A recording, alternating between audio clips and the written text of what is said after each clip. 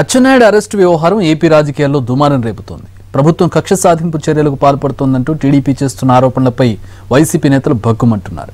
వారేమన్నారు ఇప్పుడు చూద్దాం. ఈరోజు ఒక అవినీతి జరిగితే ఆయన ఏదో మహాత్మా జ్యోతిరావు పూలేలాగనో లేకపోతే స్వతంత్ర సమరయోధులాగనో ఆయన అరెస్ట్ చేస్తే ఒక అవినీతిలో అది కాకుండా పేద కార్మికులు మందులు విషయంలో అవినీతి. ఒక దోపిడీ జరిగితే దాంట్లో అరెస్ట్ చేస్తే నిజంగా తెలుగుదేశం పార్టీ ఏ విధంగా మాట్లాడుతా ఉందంటే అదేదో ఇంకా బీసీ సామాజిక వర్గానికి అంతా మోసం చేసేసినట్టు ఈ రాష్ట్రంలో. ఆయన ఏదో మొత్తానికి బీసీలకు ఒక పెద్ద ప్రతినిధి అయినట్టు ఆయన ఒక జ్యోతిరావు మహాత్మా జ్యోతిరావు పూలే అయినట్టు ఈరోజు మాట్లాడటం దానికి బీసీలకి అంటగట్టడం నిజంగా దౌర్భాగ్యమైన పరిస్థితి. ఈరోజు ఒకటి అడుగుతాను చంద్రబాబు నాయుడు గారిని అంటే మీరు దోపిడీలు చేసి దీనికి ఒక బీసీ కార్డు వాడతారా? ఈరోజు మీరు అవినీతి చేసి ఈరోజు దానికి సంబంధించి బీసీ కార్డు వాడతారా అని అడుగుతా ఉన్నాను తప్పు చేసిన వ్యక్తి ఒక వ్యక్తి తప్పు చేశాడని నిర్ధారణ అయిన తర్వాత సెషన్స్ ముందా సెషన్స్ అవున తర్వాత అనేది చూడాల్సిన అవసరం లేనే లేదు ఫస్ట్ పాయింట్ రెండోది ఒక వ్యక్తిని అరెస్ట్ చేసినప్పుడు ప్రభుత్వ పరంగా నిబంధనల మేరకు లా అండ్ ఆర్డర్ కంట్రోల్ చేయడానికి అవసరం వంద కాదు రెండు వందల మందిని ఆయన తీసుకుని ఎలా అరెస్ట్ చేయాల్సిన పరిస్థితి ఉంది దీని ఎలా తప్పడతారు అంటే దొంగలు దర్జాగా ద- దొడ్డిదారి తప్పుకోవచ్చా? అమాయకులు బలి కావాలా? ప్రజల ప్రజా సంపద ప్రజల ధనం దుర్వినియోగం కావాలా? ఇక్కడ అసెంబ్లీ సమావేశాలనో పొలవనో లేకపోతే చట్టాలు అనేటువంటి తీసుకొచ్చి ఇష్యూ ఇష్యూని డైవర్ట్ చేయడానికి మాత్రం దయచేసి ప్రయత్నం చేయొద్దు అంతేకాకుండా మాట్లాడారు. సత్యనాయుడు గారు బీసీ కాబట్టి బీసీలను అడగదొక్కటానికి బీసీలను రాజకీయంగా ఎదుగుదలకు లేకుండా చేయడానికి ఈ విధంగా అక్రమ కేసులు బనాయిస్తున్నారని చెప్పేసి అని చెప్పి.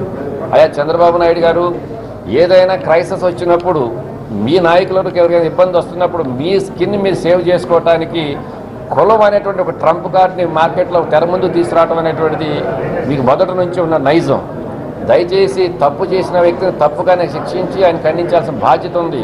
దాన్ని కట్టడి చేయాల్సిన బాధ్యత ఉంది కానీ కుల రాజకీయాలు తీసుకొచ్చి ఇష్యూని రాంగ్ ట్రాక్లో తీసుకెళ్తామని మాత్రం దయచేసి మీరు ఆలోచన చేయొద్దు ఇక్కడ చట్టానికి ఎవరు కూడా చుట్టాలు కాదు చట్టానికి ఎవరు అతీతులు కాదని చెప్పని కూడా ఈ సందర్భంగా తెలియజేస్తున్నాం.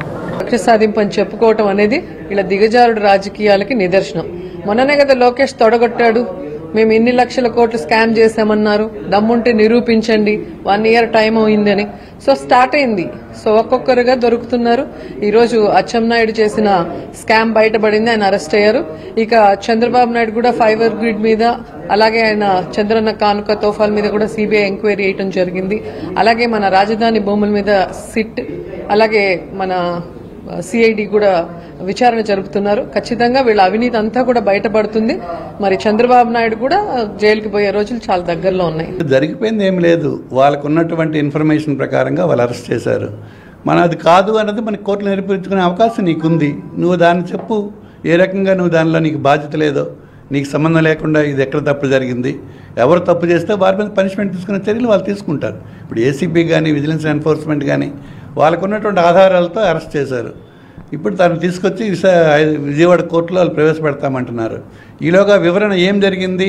ఎక్కడ వాళ్ళు తప్పు చేశారన్నదేమో మరి టెలి టెలి ఇంట్లో టెలికాస్ట్ చేస్తామని చెప్తున్నారు. అవి విన్నాక మీకున్నటువంటి ఆధారాలతో మీరు మీ తాలకు నిజాయితీ నిరూపించుకోండి. వారిని అరెస్ట్ చేసి తీసుకొస్తే కిడ్నాప్ చేసి మా కిడ్నాప్ చేశారని చెప్పేసి చంద్రబాబు మాట్లాడతారు. అచ్చెన్నాయుడు గారు కుంభకోణంలో అడ్డంగా దొరికిపోయి ఆధారాలతో దొరికిపోతే బలహీన వర్గాల వ్యక్తి మీద దాడి చేస్తారని చెప్పేసి మాట్లాడతారు. ఇదంతా కూడా తెలుగుదేశం దిగజారుతారు అని చెప్పేసి ఈ నేను స్పష్టం చేస్తా ఉన్నాను.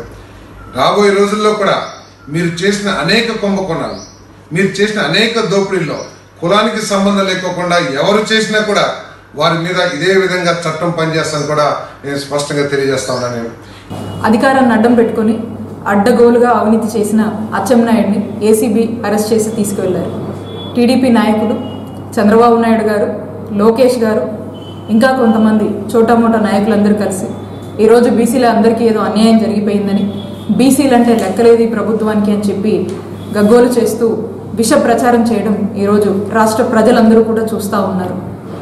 బీసీ సబ్ ప్లాన్ కింద ఏటా పదివేల కోట్లు చొప్పున ఐదు సంవత్సరాలకు గాను యాభై వేల కోట్ల రూపాయలు ఇస్తామని చెప్పి యాభై వేల కోట్లు ఇవ్వకుండా పదమూడు వేల కోట్లే ఇచ్చి ఎలా మోసం చేశారో రాష్ట్ర ప్రజలందరికీ కూడా గుర్తుంది.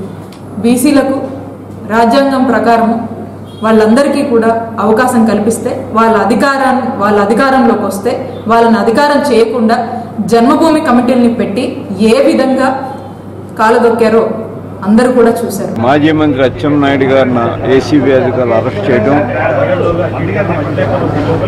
దీనిపైన ఈ రాష్ట్రంలో ఉన్నటువంటి వెనుకబడిన కులాలకు అందరికీ కూడా తీవ్రమైన అన్యాయం ఈ ప్రభుత్వం చేస్తూ ఉందని మాట్లాడటం చాలా దురదృష్టంగా భావిస్తూ ఉన్నాను చట్టాల్లో చాలా క్లియర్గా ఉంటాయి. వెనుకబడిన కులాలకి నేను అచ్చెన్నాయుడు వెనుకబడిన కులాలకు చెందిన వారమే కానీ వెనుకబడిన కులాలకు నాయకులు మాత్రమేం కాదు. మరి ఇలాంటి దొంగ పనులు చేస్తూ ఉన్నప్పుడు ప్రభుత్వం అరెస్ట్ చేయకుండా ఎందుకు చూస్తూ ఊరుకుంటుంది? ప్రభుత్వం ఖచ్చితంగా అరెస్ట్ చేస్తుంది. జరిగింది దొంగతనం. జరిగింది అక్కడ లూటి చేసింది ఇతను దొంగతనం దొంగ పని చేశాడు తప్పుడు పని చేశాడు. ఇంకా విచారణ ఏంటి? అక్కడ క్లియర్గా రాతకోతలు కనపడుతున్నాయి. ఇతను దస్తు చేత్తో ఇతను రాసి ఆర్డర్లు వేశాడు తప్పుడుతనంగా. రూల్స్కి విరుద్ధంగా బిజినెస్ రూల్స్కి విరుద్ధంగా ఆర్డర్లు వేశాడు. మంత్రి ఎలా